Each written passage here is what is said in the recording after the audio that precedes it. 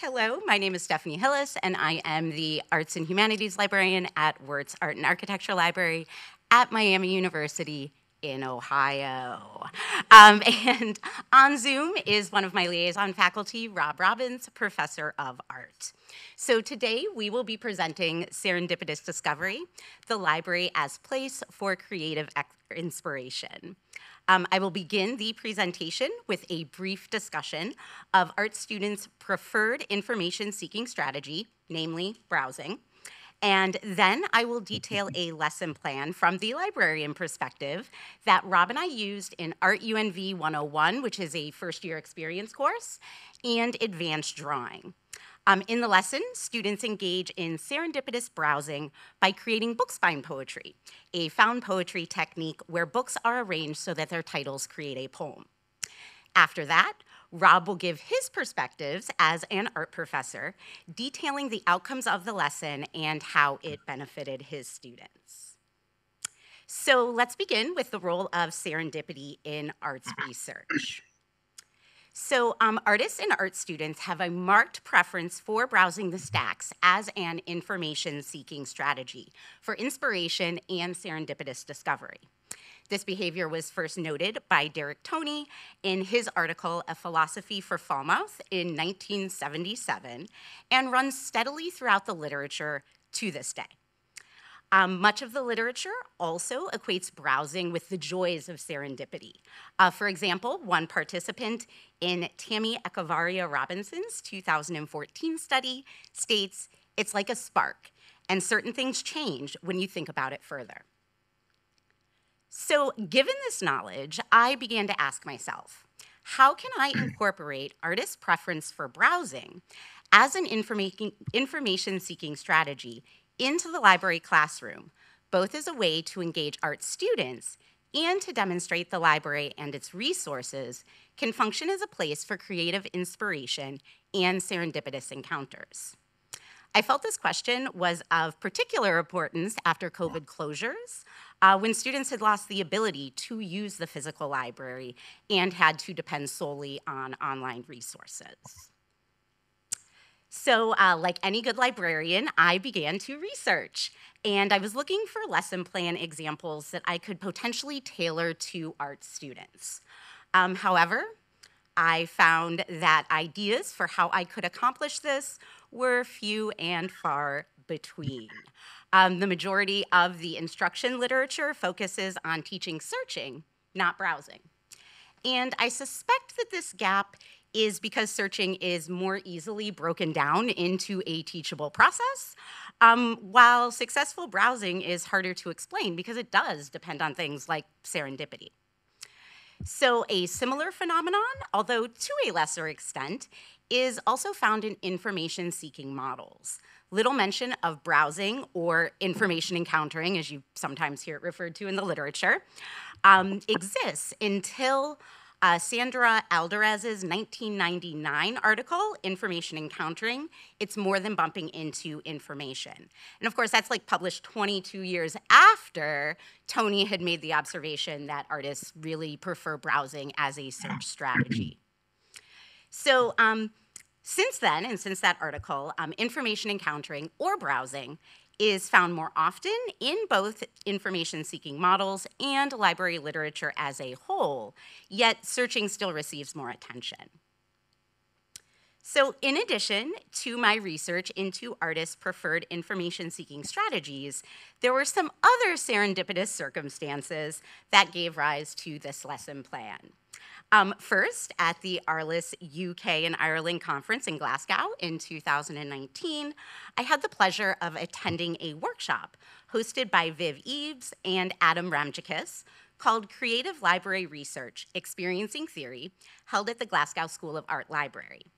Uh, during this workshop, participants became students, and we browsed the art books based on a self-chosen theme, then swapped those books with another, with another participant and discuss how our new book related to our original theme.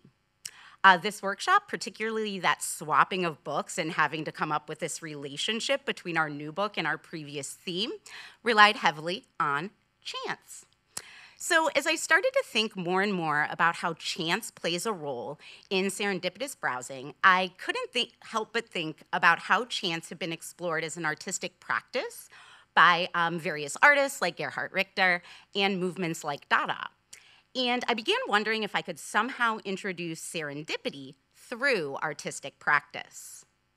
Uh, finally, Miami University happened to be doing a major weed on its library collections, and um, the librarians had started this kind of group chat where we began sharing like humorous and interesting titles that we had found on the shelves. And this reminded me of the artist Nina Katchadourian and the book spine poetry of her Sorted Books project.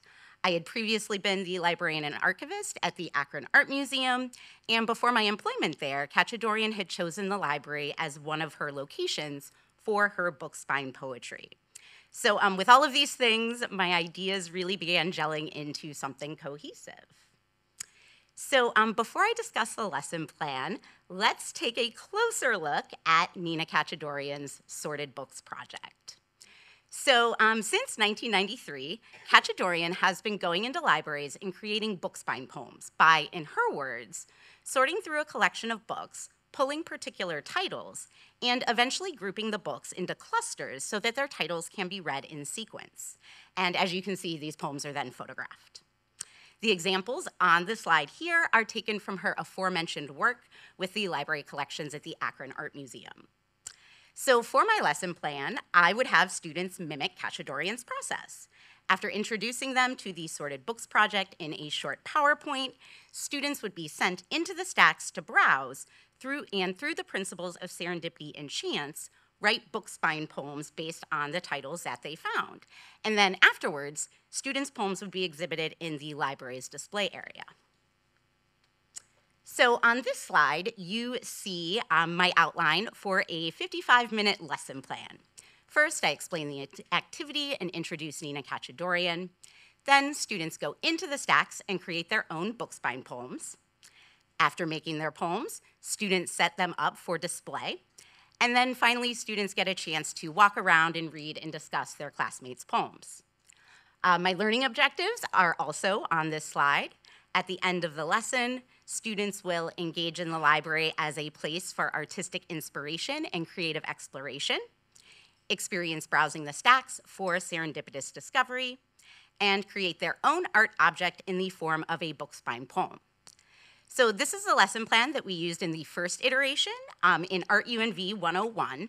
The second and third iterations for advanced drawing were longer in format, and I will discuss that in more detail in the following slides. Um, here you see some pictures of students writing their book spine poems in these stacks. So um, now I will discuss the various iterations of the lesson and how they evolved over time. So the first iteration um, was implemented in Art UNV 101, which is a first year experience course for students enrolled in the School of Art. And I chose this class for a couple of reasons. Um, first, because Rob was the instructor. Uh, he and I had worked together before, and I knew that he was always on board with experimentation and my kind of like crazy ideas that I have. Um, second, from previous conversations with Rob, I knew that browsing the library for inspiration had been a key part of his practice um, when he was in school. So um, the lesson plan, it was a success students were really engaged and clearly enjoying their time. Um, in fact, many wrote like multiple poems, um, which I thought was really great. Um, in fact, the lesson was actually successful in ways that I didn't intend. Uh, library patrons interpreted the book spine poetry exhibition as interactive and began creating new poems with the books that were on display. Um, thus, they too had the chance to experience serendipity and the library as a place for creative exploration. Given the success of the first iteration, Rob and I decided to expand the lesson in an advanced drawing class the following semester. After students created their book spine poems, they chose either their poem or one of their other classmates and sketched a response to it in class, as you see on the slide here. Uh, they also had the opportunity to complete a finished drawing based on their chosen poem for extra credit. Uh, the papers that you see on top of the poems here are actually permission forms. Uh, the library used photos of the poems on its social media for National Poetry Month in April. So um, for the third iteration, um, that was the following year, the lesson was expanded even further. Uh, this time, students completed a finished drawing based on their poem or another student's poem, and this was their first graded drawing for the class. So um, once drawings were complete, there we go. Once drawings were complete, the class critique was held in the library, and I also participated. Um, and then drawings were displayed, as you can see here, alongside the Bookspine poems in the library's display area for the remainder of the semester, and again was used on the library social media for National Poetry Month. Uh, labels were also created this time, listing student name and indicating which poem had inspired the drawing. Uh, labels were intended to discourage viewers from interacting with the exhibit and making new poems. Um, I had really enjoyed that part of like previous iterations, but um, obviously letting patrons rearrange the poems would have compl complicated the continuity uh, we wanted to create between the poems and the drawings. Um, as it turned out, these labels were not enough. And after a few weeks, I had to add additional signage asking patrons not to move the books. Um, and with that, I'll go ahead and hand it over to Rob for outcomes. Hi, everybody. I hope you can hear me out there. Um, so great. Stefanie, you can move to the next slide. um, all right. So just um, a, a, word of warning, I'm having to synchronize three screens right now. So bear with me. Um, okay, so a little um, background and rationale. Uh, but before that, I just want to say that this project and um, the outcomes that were a part of it could never have happened without um, Stefanie's uh, a vision for this project and her, her knowledge and her willingness to let my students go in and make a complete mess of the library. Um, and I think part of the fun of this project for the students and what caused this incredible engagement was the fact that they could go in with abandon and do whatever they wanted in the library. So, uh, moving on, conventionally, um, formal art programs like the one we have at Miami University, and really all those I've been um, engaged with over my career, have uh, one little complication, and it is that learning to make art is a difficult and complicated challenge with many sort of components. And so, we break a, a, the curriculum down into um, component elements that uh, will not in the beginning let students understand the entirety of what making a, in our work is. And so conventionally programs will start with sort of procedural technical and perceptual sort of activities building sets of skills. Um, in order to streamline and clarify programs will not look very hard very often at um, issues of content or expression or voice in the first couple of years. Um, it's there, and we'll talk about it, but it's not the priority. Um, and so uh, that means that um, you know certain things come out of the work and certain things don't. So uh, Stefanie, if we can move to the next slide. So this project um, addressed a that particular challenge and a number of others relative to it. Um, so, um, as I already mentioned, students have gone through a conventional foundation art program that focuses on technical, formal, and perceptual skills. Um, and so they'll often have difficulty transitioning, maybe in, in our case, from the second year to the third year, to being asked to develop work that is really about their vision, their voice, their beliefs um, you know, this is a, a, a really it's a it's a difficult and challenging sort of transition for them. And this project was sort of designed to specifically address that. Um, students will often develop resistance to the expression of content. They build a set of values in their first and second year that is about the technical proficiency, about the perceptual, about the the visual acumen, about compositional and formal um, qualities. So then when you start to say that's not what we're first going to discuss, they start to say things like, um, I'm not looking for any deep meaning in my work. Uh, you know, um, you know, there's a, a, little bit of resistance. So um, so those are the sorts of things that we were trying to alleviate or sort of overcome in this particular project. Um, okay, next slide, please, Stefanie. And let me coordinate here. So you can see um, these are some sort of very typical student outcomes from um, an early drawing or an early creative arts uh, course. That it's very formal, it's very didactic. Um, we are trying to address very specific sort of perceptual skills and acumen. And um, so here we have three diversely different students whom all have produced works for a particular project that look very, very similar to one another. Um, they're fine drawings, but there's no unique voice. Um, there's no expressive content within these works. Um, if we could have the next slide, please, Stefanie. So here's another one. Um, this was the same class, a different project, and we have three more students who have produced drawings, and they each have their unique attributes, right? They're they're slightly different in terms of composition, but compositional strategies are similar. They're slightly different in terms of um, you know, placement of subject, but the subject is similar. And, uh, you know, these students would be building a set of values as they're sort of creating these drawings. Okay, next image, please, Stefanie.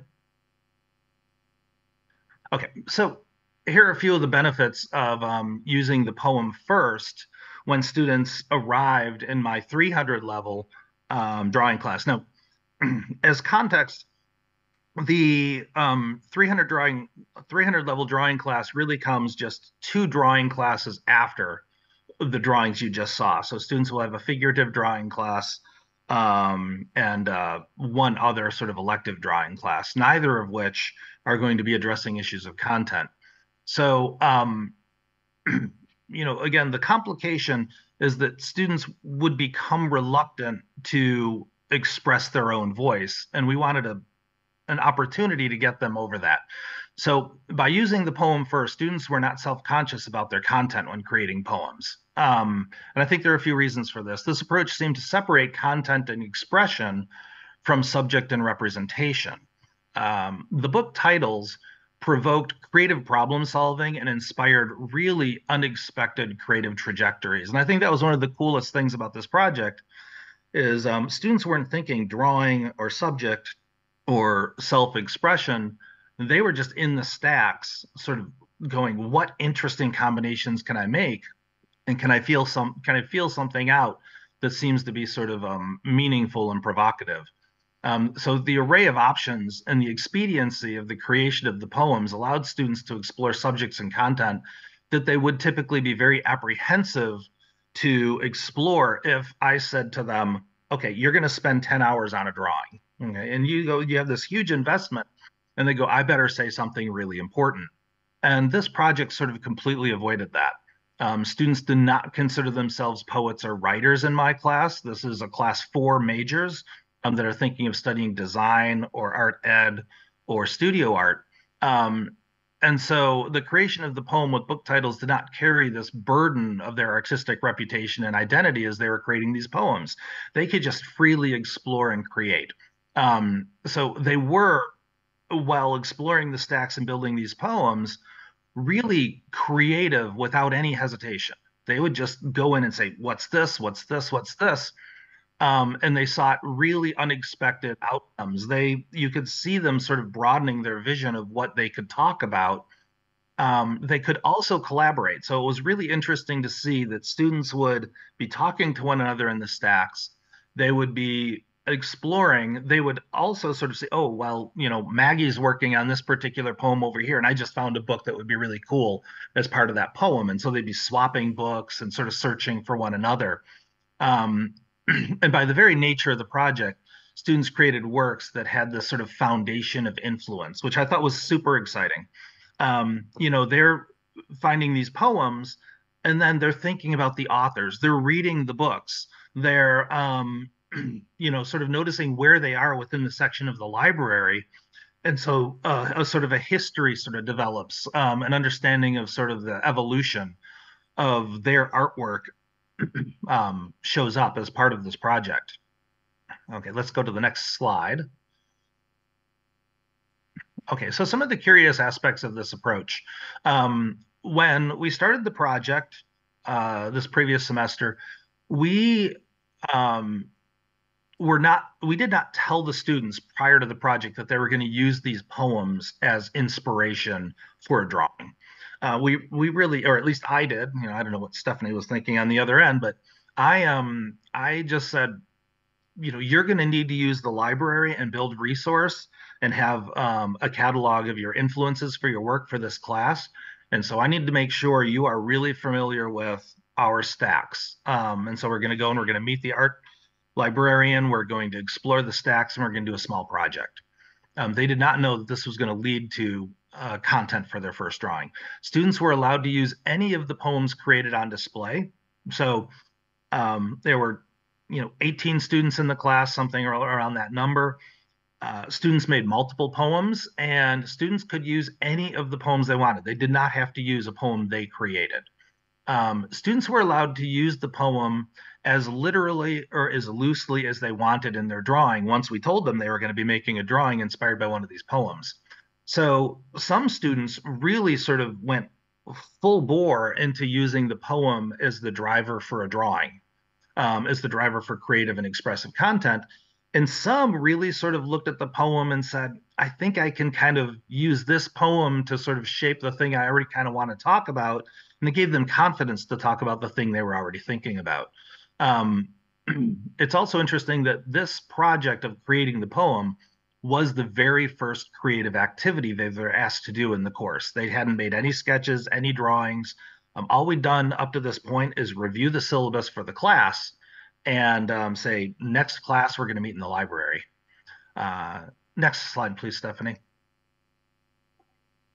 so here's some of the really interesting and surprising outcomes. Uh, most students chose to use a poem that was not one of their own poems, but was um, created by somebody else. And so that tells me right away that they were looking through all these poems and trying to find something that sort of resonated with them and they also thought would be powerful for a drawing. Um, they were thinking of content and what they could say through these these drawings inspired by the poems. Um, no student voiced any complaint at all about having to use a poem as inspiration. They therefore were not um, any complaints about, you know, being asked to consider content first or the expressive component of the drawing. Um, the poems touched on a an array of different traditional artistic criteria, which I thought was pretty interesting. Um, there were poems that were clearly very expressive in nature. There were ones that were kind of avant garde and sort of challenging form. There were very formal poems that were just looking at sort of rhythm of language or structure. There were instrumental poems that were really looking at society and um, and community and how we could change the world or what the world was. And then there were very realistic poems that were like, "This is the way it is. This is our experience." Um, this acted as a bit of a framework for our first discussion of drawings, along with sort of the nature of the poem. But that range of criteria held within the poems was much broader than what we would typically see if I just said, make some drawings and let's see what we get. The project naturally led to a content first approach for the drawing. So um, typically at this stage, when students are transitioning from a, a didactic sort of formal education to um, one that focuses on content and expression, uh, they're the first sort of saying, well, what can I, what I'm going to use my process first. I've got my strengths in drawing or painting, and then can I find some content that fits into that? And by doing it this way, they really said, oh, what do I want to do something about? And then how can I sort of acclimate my skills and my capacities to that sort of um, that, that that content? So that meant there were more iterative, um, uh, you know, steps gone through in developing the work. There were more technical studies. Um, there was a much broader range of sort of consideration. Students naturally use the skills they developed in their foundation courses. And I thought this was interesting. They were able to very easily take those things they developed in their first couple of years and apply them to this new thing they wanted to do. So that wasn't lost and it wasn't subservient. It was really it became a, an expressive tool for them their um, their foundation experience. And then the critique of the drawings naturally used the poem as a framework. So the critique was very content first. It was what is this student trying to say? instead of what's right or wrong with the drawing in a formal um, uh, from a formal lens. And uh, that's seldom seen so quickly. You know, you typically have to work students to this sort of experience. Okay, next slide, Stefanie, and I'm getting close. So, real quickly, this is I'm not going to read through this. I'll, I'll, save you the the pain of that. But um, this is just the first couple paragraphs of the um, of the uh, the course description in the syllabus. Let's go to the next slide, Stefanie. Um, and so just a couple lines from that. This course explores, examines, and considers drawings as an expressive medium. So um, the project allowed students to naturally consider the content and the expression um, the priority over the formal technical perceptual components of the drawing. And I thought that was amazing and something that was one of the primary focuses of this class for me. Um, the course description also said in this class, you will be creating drawings with the purpose of developing a cohesive body of work that explores and develops a personal voice and expression. And in this case, the poems allowed each student to choose content that they were excited about exploring. Um, so giving them sort of that menu of possibilities um, meant that they could go through and say, do I want to draw about that? Do I want to draw about that? Very often students would make three or four studies from three or four different poems and then go, this is the one I want to do.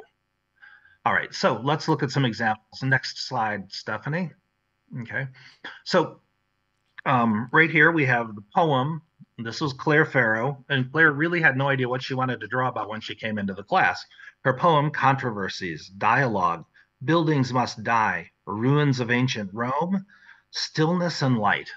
And you can see here, she was doing these drawings where she was really thinking about sort of human influence on landscape then, about how we've um, built things and then abandoned things. And that was, I thought that was pretty powerful content, um, considering, you know, um, the previous semester she was making drawings like we saw in the previous slides. Let's go to the next slide. This is Megan Sekulich. Megan's poem was super short. Megan's one of the few students that made her poem and then drew from her poem. And hers simply says, art as existence, make it fabulous. Megan um, was a studio art major. She's graduated now, and a um, a fashion major. And she was looking for an opportunity to fuse fashion and her studio um, considerations about self and body image. And so she ended up making these big drawings of pinup dolls, eccentric, considering what our foundation program is. Let's look at the next slide, Stefanie.